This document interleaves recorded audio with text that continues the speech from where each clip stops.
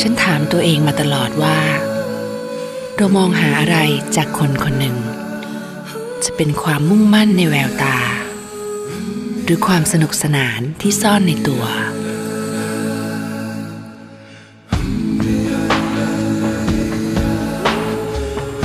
ความกล้าที่จะฝ่าฟันอุปสรรคเพื่อไปให้ถึงจุดมุ่งหมาย เหมือนหลายสิ่งหลายอย่างที่เขาสร้างมากับมือ มาวันนี้ฉันรู้แล้วว่า ฉันมองเห็นอะไร ความดีเล็กๆ เปลี่ยนสังคมให้ยิ่งใหญ่ได้ มองให้ไกลไปให้ถึง Meridian